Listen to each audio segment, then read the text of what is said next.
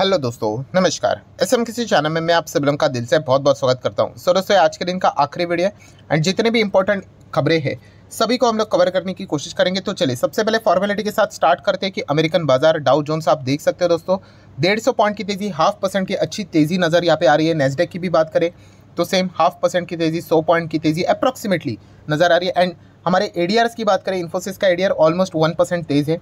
ICICI bank half percent down है HDFC bank भी थोड़ा डाउन नज़र आ रहा है। विप्रो की बात करें, बिल्कुल न्यूट्रल गेयर पे, कोई आगे पीछे नहीं। एंड डॉक्टर रेडिस की बात करें तो हाफ़ परसेंट डाउन ये भी नज़र यहाँ पे आ रहा है। दैन अगर हम लोग बात करें, आज के दिन यहाँ पे मामा अर्थ की जो कंपनी है पेरेंट कंपनी होन्सा कंज्यूमर तो उनका हम लोगों को रिज़ल्ट देखने को मिलने वाला था। एंड रिज़ल्ट मार्केट क्लोज हो जाने के बाद आ चुका है। एंड ड्यूरिंग द मार्केट अगर हम लोग बात करें लगभग लगभग चार से पाँच परसेंट की गिरावट देखने को यहाँ पे मिली थी। सो कंपनी के नंबर की बात करें दोस्तों तो काफ़ी इंप्रेसिव नंबर देखने को मिले। नेट प्रॉफिट 93 परसेंट जंप हो चुका है 30 करोड़ के आसपास। सो डेफिनेटली कल के दिन की अगर हम लोग बात करें कंपनी के नंबर्स के प्रति बाज़ार का रिएक्शन दिखना काफ़ी इंटरेस्टिंग पार्ट रहने वाला है। देन अगर हम लोग बात करें इलेक्ट्रिक व्हीकल तो दोस्तों टू व्हीलर सेगमेंट में भी इलेक्ट्रिक व्हीकल का पेनेट्रेशन बहुत कमाल का देखने को मिल रहा है। यहाँ पे भी अगर देखा गया तो एथर ने भी कंफर्म कर दिया है भाई कि वो भी फैमिलीज़ इलेक्ट्रिक स्कूटर के ऊपर काम कर रहा है, जिसका नाम है new four fifty X yes दोस्तों मतलब हर कोई अगर देखा गया, जैसे मैंने कहा कि फ्यूचर ओरिएंटेड बिज़नेस में खुद को एंगेज करने की कोशिश कर रहा है, क्योंकि वहाँ पे सबसे ज़्यादा ग्रोथ हम लोग को देखने को मिल जाती है। नेक्स्ट अगर हम लोग यहाँ पे बात करें दोस्तों तो टाइटन कंपनी कल के दिन तो कमाल का परफॉर्मेंस देखने को मिला ऑल टाइम हाई अचीव किया। आज के दिन की भी बात करें, नया फ्रेश 52 एक हाई के साथ साथ ऑल टाइम हाई अचीव यहाँ पे किया है। एंड अगर देखा गया तो अच्छी खबरों की बारिशें लगातार होती हुई देखने को मिल रही। है कल के दिन सी ने भी इनका टारगेट ज़बरदस्त बढ़ा दिया बीस से। एंड उसी के साथ साथ अगर हम लोग यहाँ पे बात करें तो आप सभी लोगों को पता ही है कि अगर आपको एडिशनल स्टेक अगर बढ़ाना होता है किसी कंपनी में एंड वहाँ पे अगर आपकी बहुत ही ज़्यादा मोनोपॉली हो जाती है तो कंपटीशन कमीशन ऑफ़ इंडिया आपको रेस्ट्रिक्ट करता है। बट फ़िलहाल अगर देखा गया दोस्तों तो कैरेट लेन से रिलेटेड यहाँ पे टाइटन को हरी झंडी मिल चुकी है कि वो एडिशनल स्टेक भी इनके परचेज कर सकता है। कंपटीशन कमीशन ऑफ़ इंडिया ने इनको यहाँ पे अप्रूवल दे दिया। एंड इसी का नतीजा है कि टाइटन में हम लोग को और गजब की तेज़ी देखने को यहाँ पे मिल रही है।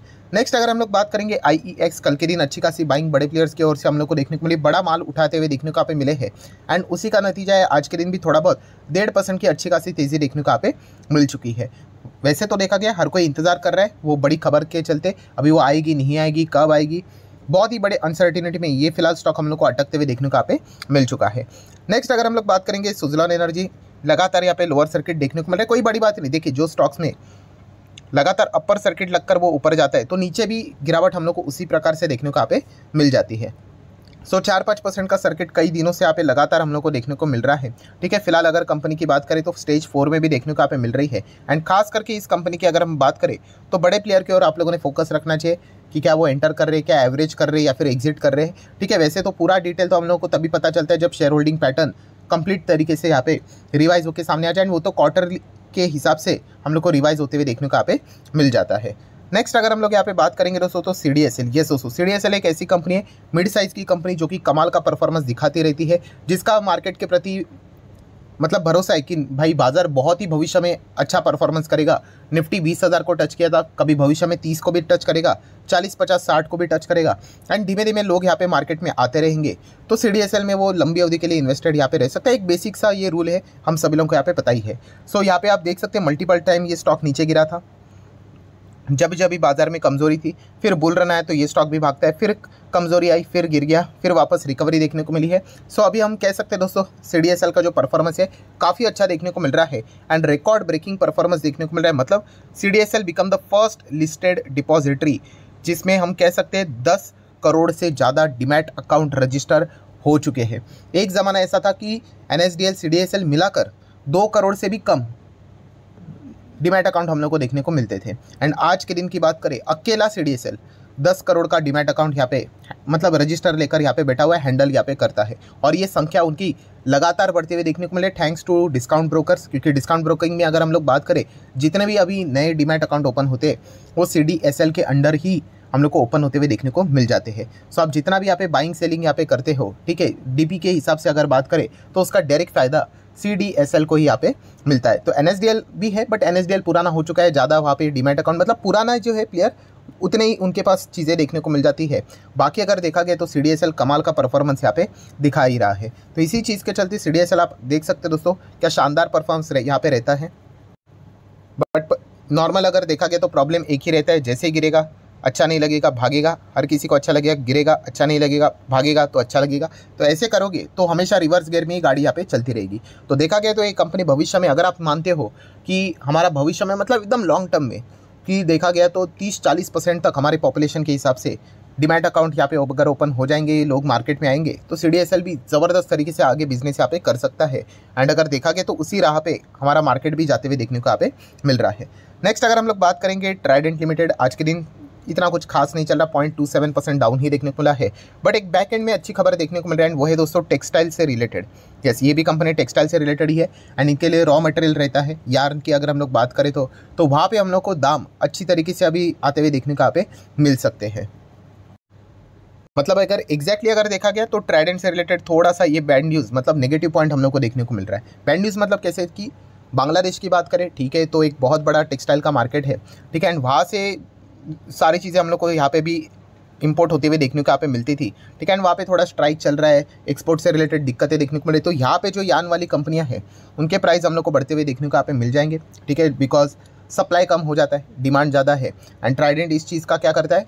परचेसिंग यहाँ पे करता है। तो इस चीज़ के चलते थोड़ा बहुत उनको यहाँ पे झटका लगते हुए देखने को यहाँ पे मिल रहा है। ये पॉइंट भी आप लोग यहाँ पे देख सकते हैं। इसीलिए आज टेक्सटाइल वाली जो बाकी कंपनियाँ थी, जो रॉ मटेरियल में काम करती है, उनके लिए बहुत अच्छा दिन था। बट जो इनसे रिलेटेड सारी चीज़ें परचेस करते हैं, उनके लिए थोड़ा सा नेगेटिव पॉइंट भी देखने को यहाँ पे मिल चुका है। नेक्स्ट अगर हम लोग बात करेंगे दोस्तों तो K P I T tech yes K P I T tech की बात करें अच्छा परफॉर्मेंस दिखा रहा था।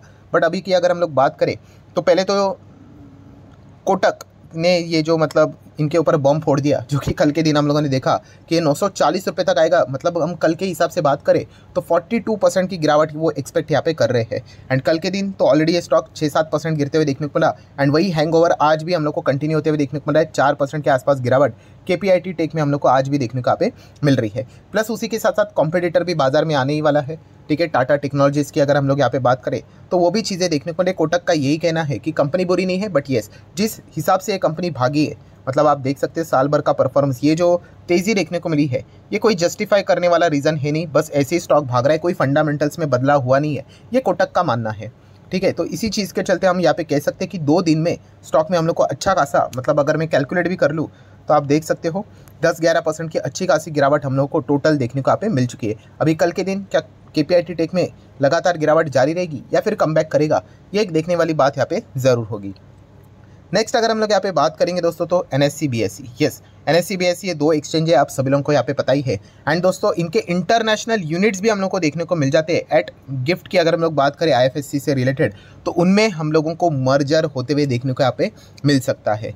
यस दोस्तों, सबसे पहले तो मैं आप लोगों को यहाँ पे बताना चाहूँगा कि ये जो बातें यहाँ पे की जा रही है, ठीक है, वो गिफ्ट से रिलेटेड गिफ्ट सिटी से रिलेटेड यहाँ पे चीज़ें हम लोग को देखने को यहाँ पे मिल रही है। एनएससी की अगर हम लोग बात करें आईएफएससी से रिलेटेड ही चीज़ें देखने को नहीं, अगर मैं इसके ऊपर क्लिक कर लूँ तो आप देख सकते हैं देखिए गिफ्ट निफ्टी से रिलेटेड बात देखने को यहाँ पे मिल रही है। तो इससे रिलेटेड ये मर्जर हम लोग को देखने को यहाँ पे मिल रहा है मतलब बी एस की अगर हम लोग बात करें एंड एन इंटरनेशनल की अगर हम लोग बात करें, उनके मर्जर की बात यहाँ पे हो रही है, ठीक है? तो ये पॉइंट आपको पता होना चाहिए, जो normal N and B platform देखने को मिल रहा है, उसका परफॉर्मेंस की बात यहाँ पे नहीं हो रही है। बट येस इन दोनों का मर्जर यहाँ पे होगा, इसकी पॉसिबिलिटी यहाँ पे है रिपोर्ट के ज़रिए ऐसी खबरें यहाँ पे सामने आ रही है। ठीक है? अभी होगा नहीं होगा, वो देखने वाली बात है, क्योंकि इसके पहले ये खबर हम लोग को जुलाई में भी देखने को यहाँ पे मिली थी। तो वापस ये खबर सामने आती हुई देखने को मिल रही है एंड स्वैप रेशो की अगर हम लोग बात करें तो एन वालों को बहुत अच्छा खासा फ़ायदा मिलेगा। बीएससी वाले को कुछ भी यहाँ पे नहीं मिलेगा बिकॉज़ जिनके पास भी एन से रिलेटेड बहुत सारे शेयर्स यहाँ पे होंगे, उनको बीएससी के सात शेयर्स मिलते हुए देखने को यहाँ पे मिल सकते हैं। एक अनुमान बताया जा चुका है। हकीकत में कितना रहेगा वो तो बाद में ही पता यहाँ पे चल जाएगा। सो so डेफिनेटली इनके मर्जर के बाद हम लोगों को एक नई एंटिटी देखने को यहाँ पे मिल जाएगी, जो इंटरनेशनल लेवल पर यहाँ पे हम लोग को काम करते हुए देखने को मिल जाएगी। ठीक है एंड उसमें भी इन दोनों कंपनीज़ को एन एंड BSC को यहाँ पे कुछ कैपिटल सौ, दो करोड़ भी यहाँ पे डालना पड़ेगा। ये भी पॉइंट हम लोग को फ़िलहाल तो देखने को यहाँ पे मिल रहा है। तो इसी चीज़ के चलते यहाँ पे हम लोग को ज़्यादा चर्चाएँ होती हुई देखने को यहाँ पे मिली थी। बाकी अगर देखा गया तो बी तो वैसे ही हम लोग को लिस्टेड है एंड एन का आईपीओ भी आने वाला है। वो तो चीज़ें तो हम लोग को भविष्य में देखने को यहाँ पे मिल जाएगी। नेक्स्ट अगर हम लोग यहाँ पे बात करें दोस्तों तो टाटा टेक्नोलॉजी का आईपीओ यस दोस्तों टाटा टेक्नोलॉजी का आईपीओ की बात करें तो लगातार ग्रे मार्केट प्रीमियम में हम लोगों को चेंजेस होते हुए देखने को यहाँ पे मिल रहे हैं। एंड वहाँ पे भी आप देख सकते हो 377 मतलब अभी सुबह पहले तो हम लोगों ने 350 के आसपास देखा था, फिर 355 के आसपास देखा था, अभी 377 के आसपास ग्रे मार्केट प्रीमियम यहाँ पे जाते हुए देखने को मिल रहा है। तो एकदम ज़बरदस्त परफॉर्मेंस टाटा टेक के आईपीओ में फ़िलहाल तो देखने को यहाँ पे मिल रहा है।